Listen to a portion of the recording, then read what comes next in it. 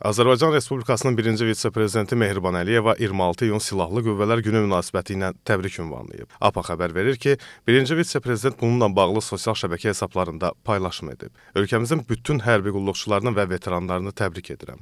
Hər kəsə möhkəm can sağlığı, vətənimizə sülh və əmin-amanlıq arzulayıram, deyə paylaşımda qeyd olunub.